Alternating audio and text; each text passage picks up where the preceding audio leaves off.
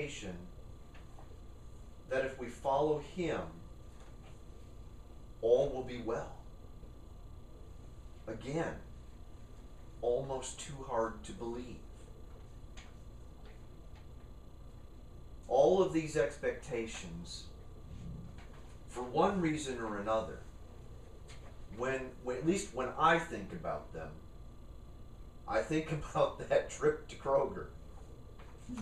And I think about yet again having my hopes dashed. And there's a big part of me, and there's a big part of a lot of followers of Jesus who don't want to take the risk to deal with great expectations because, frankly, in the past, they've been burned. I'm one of them. All right? I'm, I'll just tell you right here and now. I'm one of them. And when I look at these promises that come to us from God, I wonder, Lord, how do I get around this? How do I get past my past and allow you to speak so that I can actually lay hold of the promises and understand the expectations that you're raising so that my life and the hope that you give me can be what you want them to be instead of what I'm afraid they'll be? Well, the answer comes, I think, when we look at the first couple of verses in the, the lesson from St. Paul's letter to the Romans. Look with me, if you would, at, at verse uh, 21, the very first verse in, uh, in that lesson from the, the book of, or from the letter to the Romans. Paul says, So I find this law is at work.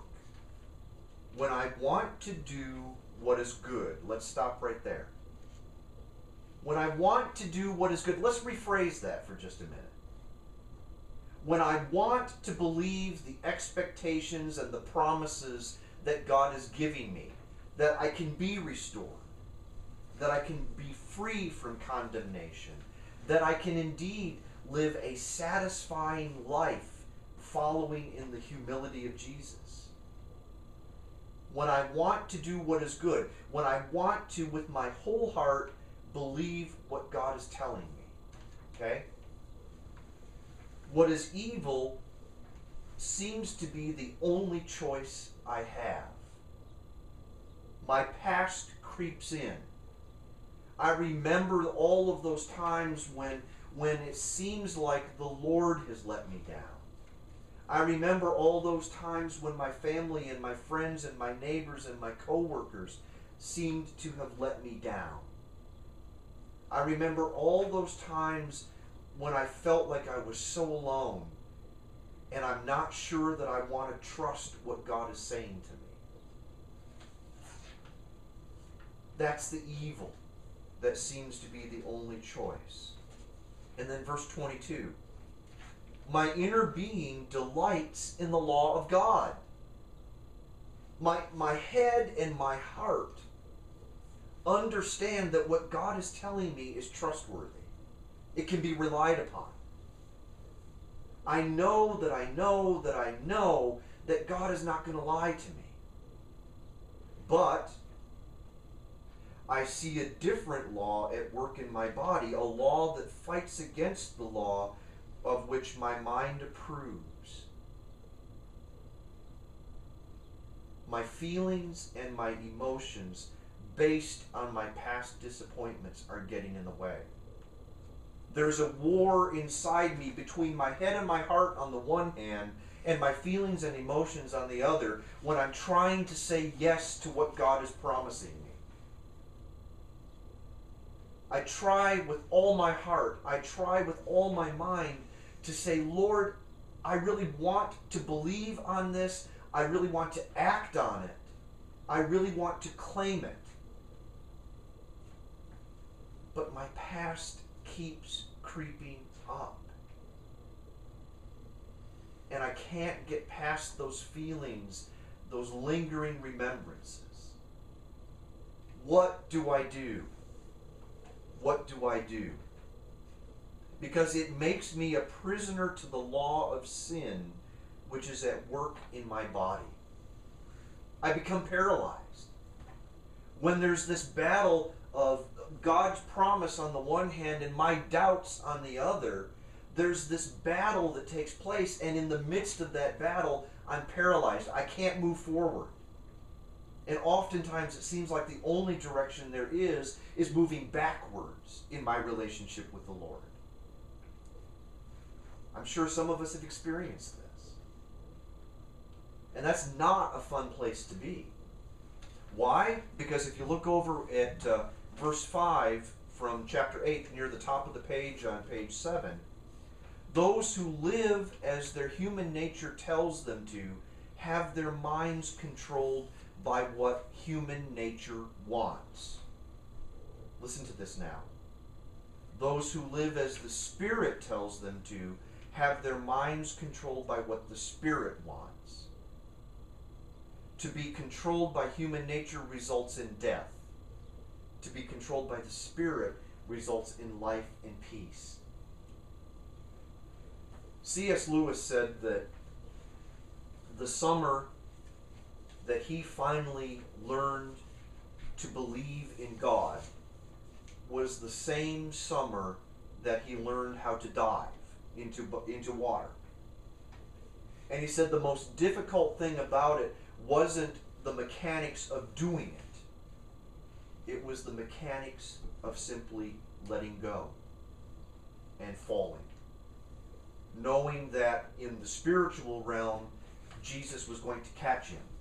And in the physical realm, the water was going to break his fall and he wasn't going to get hurt. Unless and until we are able to say to Jesus that we trust him enough to fall into his arms,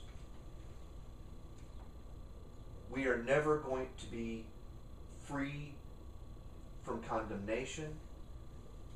We're never going to be free to live the kind of life that Jesus is promising for us. We're never going to be free to be restored in His love. And in fact, it's not even really us that we're holding captive. When we allow our doubts and our fears, our feelings and our emotions to control who we are in Christ, we're doing more than holding ourselves captive, we're holding Him captive. And mark my words, almost always, when we hold Him captive, we're holding our family, our friends, our co workers, our neighbors, those we love most captive as well. Because the bitterness and the hurt and the anger and the fear washes over not only into our relationship with Jesus, but also into our relationship with our loved ones. And so the choice for us is to do exactly what Jesus has said that we need to do. And that is to allow Him to put His yoke upon us. Not the yoke of warfare, not the yoke of condemnation, not the yoke of pride and selfishness, but the yoke of humility. The yoke that takes away those heavy burdens. The yoke that frees us, that liberates us, that makes us want to dance and sing in the presence of the Lord. That's what He wants for us this morning. That's how He wants us to live. That's how He wants us to rejoice. That's how He wants us to share the good news. May it be so for each of us this morning and in the days and years to come. In the name of the Father, and of the Son, and of the Holy Spirit. Amen. Let's pray. Father, we thank you that you have set us free and that those whom you have set free are free indeed. Help us to fall into your arms this morning. Help us to realize where the doubts are coming from and help us to embrace the glorious expectations that you have raised for us.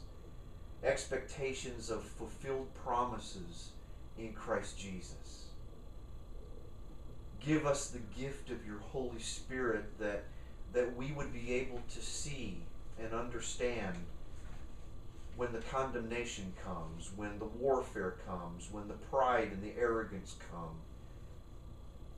that we might turn, that we might fall right into your arms and be held by your loving embrace and be reminded that we are free. Father, we ask this in Jesus' name. Amen. Invite you to stand as you're able as we affirm our faith this morning.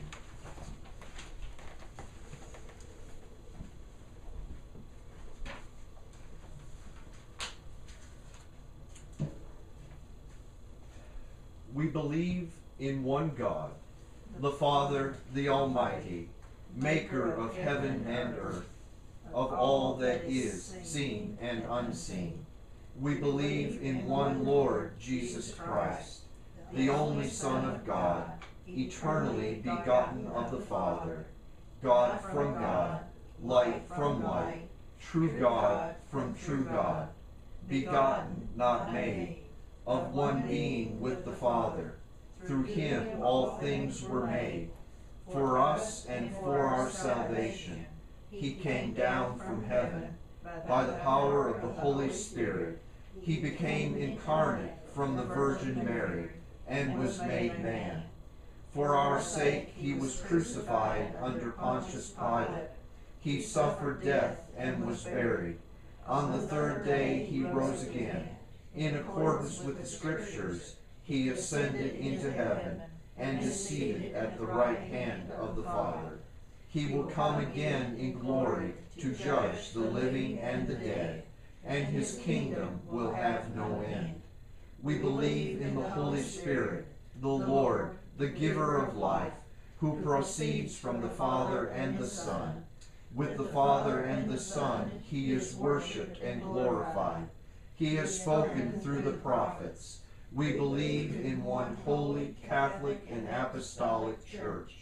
We acknowledge one baptism for the forgiveness of sins we look for the resurrection of the dead and the life of the world to come. Amen. You may be seated.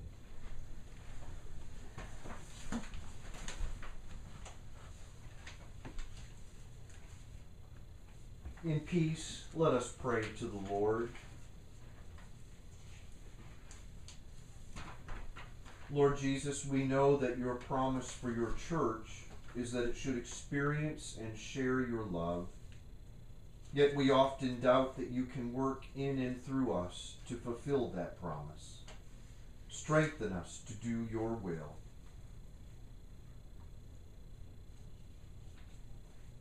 Lord, we believe. Help, Help our unbelief. unbelief. Lord Jesus, we know that your promise for this nation is the flowering of righteousness and justice. Yet we often doubt that your presence in our elections and decision making will change anything. Strengthen us to speak your truth.